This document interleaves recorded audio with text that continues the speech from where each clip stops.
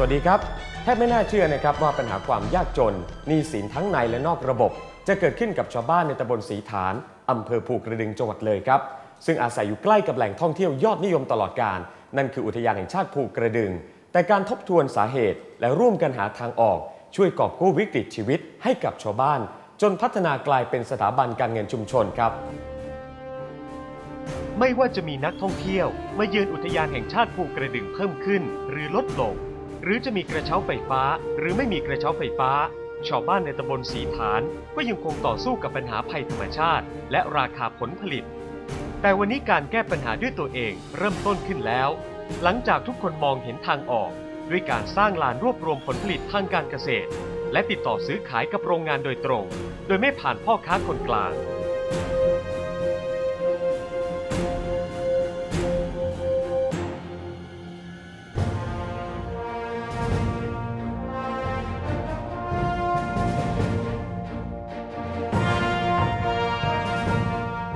แต่ปัจจัยสำคัญที่ทำให้วิธีการนี้เริ่มส่งสัญญาณที่ดี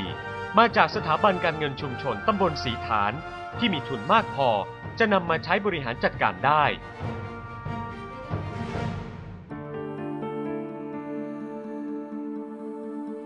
ย้อนหลังกลับไปอย่างน้อยสองทศวรรษ จะพบว่าชาวบ้านในตำบลสีฐานอำเภอภูกระดึงหลายร้อยหลังคาเรือน ซึ่งมีอาชีพหลักคือทำนา ทำไร่อ้อยและมันสำปะหลัง และมีฐานะยากจน มีหนี้สินทั้งในระบบและนอกระบบ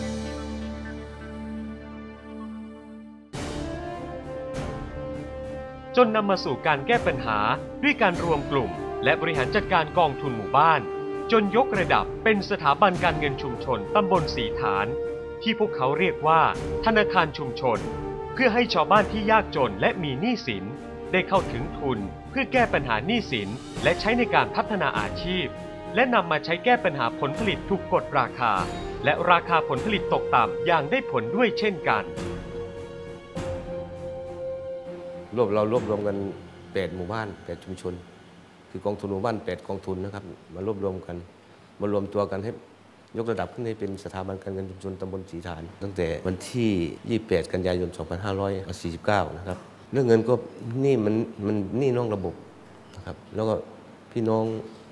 ชาวบ้านเขาค่อนข้างจะยากจนนะครับ ไม่มีสิทธิหรือว่ามีไม่มีอะไรที่เขาจะเข้าหาแหล่งทุน หรือว่าสถาบันการเงินที่ใหญ่ๆไว้ได้ก็เลยมาจัดตั้งเป็นสถาบันการเงินชุมชนตำบลสีฐานขึ้นมา แล้วก็เอาระเบียบของกองทุนหมู่บ้านนั้นมามารวบรวมมามามาเพิ่มเติมมาตัดต่อเพิ่มเติมกันให้มาดัดแปลงให้เป็นระเบียบของ สถาบันการเงินชุมชนตำบลสีฐานนะครับเพราะว่าจะเป็นกลุ่มดอกรักที่ผู้ติดเชื้อ HIV แล้วก็กลุ่มผู้พิการ คนพิการก็ให้กันครับให้กู้ยืมได้ แล้วก็มาจัดตั้งธนาคารขยะขึ้นอีกชุดหนึ่งโดยที่ให้เงินทุนไปลงทุนรับซื้อขยะจากสมาชิกในตำบลนนี้ะให้สมาชิกคัดแยกขยะออกนะครับเป็นขยะรีไซเคิลแล้วก็มันจะเป็นอีกจุดหนึงก็คือให้กลุ่มร้านค้าชุมชนนะครับ กู้ยืมไปทำธุรกิจในเรื่องอการซื้อการขายของร้านค้าชุมชนต่างหากนะครับแต่ทีนี้ทั้งทกสก็เห็นความสำคัญว่าเออเป็นหมู่บ้านเป็นชุมชนที่เข้มแข็งทกสก็เลยเสนอให้เป็นเป็นพี่เลี้ยงให้นะครับ เป็นแรงเงิน เป็นแรงทุนจากทางทกสคือเป็นอ่าที่ปรึกษาใหญ่ให้เงินทุนมาให้สมาบริการกับสมาชิกได้กู้ยืมนะครับ เงินตอนนี้เราลงทุนในเรื่องของอ้อยทั้งหมดมันเก็บแสนห้าใช่ไหมแสนแปดที่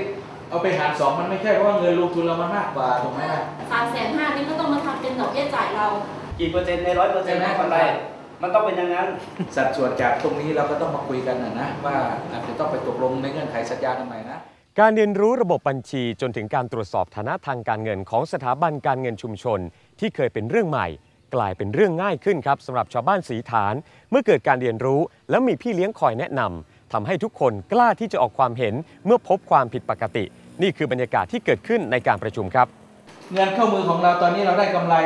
เดือนต่อเดือนน่ะนะรอบต่อรอบเราได้กำไรตัวที่หนึ่งแล้วกรณีที่ผมว่าเงินเงินรายการรายได้ที่ที่ถูกแยกไป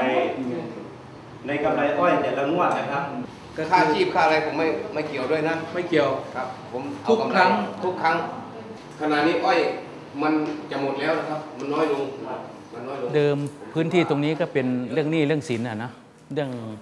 หนี้นอกระบบเรื่องปัญหาเรื่องเออของการเอ่อทำมาหากินพวกเนี้ยเรื่องของการประกอบอาชีพ พวกนี้ก็เลยทางธนาคารเองก็ก็เห็น อยากจะช่วยเหลือ คราวนี้อีกตัวหนึ่งที่เราอยากให้เกิดขึ้นก็เรื่องของเออเงินออม การเพิ่มทุนในชุมชนโดยชุมชนอะเนาะเพราะว่าตอนนี้มันมีทุนข้างนอกเข้ามาหมด ต่อไปเราจะทำให้ทุนข้างในให้มันใหญ่ขึ้นใหญ่ขึ้นดันทุนข้างนอกออก อันนั้นคือเป้าหมายของเราอยากให้เป็นอย่างนั้น โดยใช้กระบวนการเรื่องของเงินออม พวกนี้พวกเงินออมเงินฝาก ซึ่งก็เยอะอยู่นะก็ประมาณล้านกว่าบาท ส่วนจุดที่เป็นจุดเด่นเขาก็มีเยอะแยะ ความซื่อสัตย์เรื่องของ ความภักดีอะไรต่างๆ พวกนี้เขาเขามีนะความสัมพันธ์ใช่ เวลาอย่างยกตัวอย่างเช่น เดิมเราบริหารกองทุนหมู่บ้าน ผมก็มีส่วนในบริหารกองทุนเขาประกาศหอกระจายข่าวแค่วันสองวันเขาก็มาชำระกันก็ร้อยเปอร์เซ็นต์ร้อยเปอร์เซ็นต์เขาก็ดูแลกันตรงนั้น คือเรื่องสต็อกเนี่ยการการสต็อกเนี่ยก็คือในความคิดของผมนะในฐานะที่เป็นที่ปรึกษาก็เรื่องเรื่องสต็อกไม่อยากให้เกิด อย่างซื้ออ้อยเนี่ยนะซื้อมาอย่างปริมาณที่รับซื้อ กับที่จะต้องส่งส่งให้เครือข่ายแล้วรับต่อไปนี่ยมันจะมีปัญหาเรื่องของความเสี่ยงเรื่องของน้ำหนักใช่ไหมก็คือให้ส่งเร็วที่สุด ใช่ส่งเร็วที่สุด ผมเห็นความมุ่งมั่นตั้งใจนะความมุ่งมั่นตั้งใจที่จะเอ่อทำให้เกิดความสำเร็จ แล้วก็ผมก็ดีใจแล้วผมก็ที่มาดูแลน่ะนะก็เห็นชาวบ้านให้ความร่วมมือดี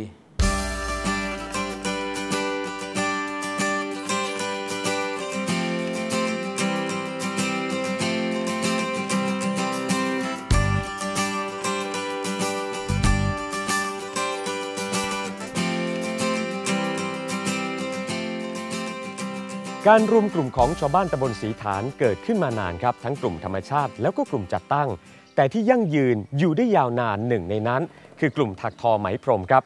ปัจจัยที่ทำให้กลุ่มนี้อยู่มานานกว่า 10 ปี และมีเงินออมของกลุ่มไว้ เป็นทุนนับแสนบาทคืออะไร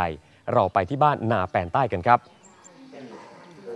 เพราะมีนักท่องเที่ยวมาเยือนอุทยานแห่งชาติภูกระดึง ปีละ 60,000 ถึง 1 0 0 0 0แสนคน และทำรายได้ให้ชาวภูกระดึง ปีละ 12 ถึง 20 ล้านบาททำให้ชาวบ้านในตำบลสีฐานที่อาศัยรอบภูกระดึง ต้องรวมกลุ่มกัน สร้างสรรค์ผลิตภัณฑ์ที่นักท่องเที่ยวจำเป็นต้องใช้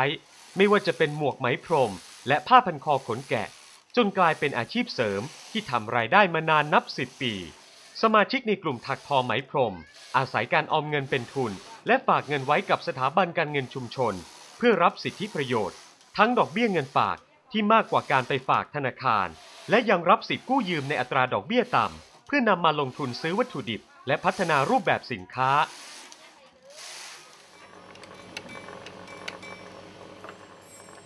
เช่นเดียวกับกลุ่มเจรนายพลอย ที่เริ่มต้นอาชีพ ด้วยการขอกู้เงินสถาบันการเงินชุมชนตำบลสีฐาน มาลงทุนซื้ออุปกรณ์หลายอย่าง จนสามารถสร้างรายได้ และทยอยส่งเงินกู้คืนสถาบันอย่างต่อเนื่อง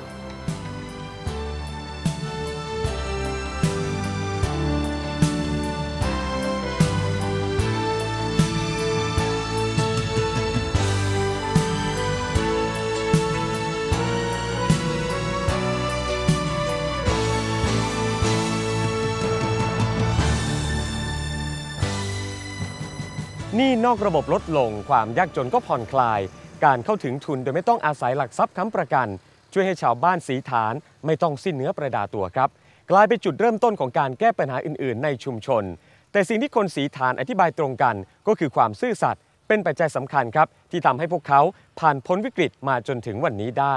สวัสดีครับ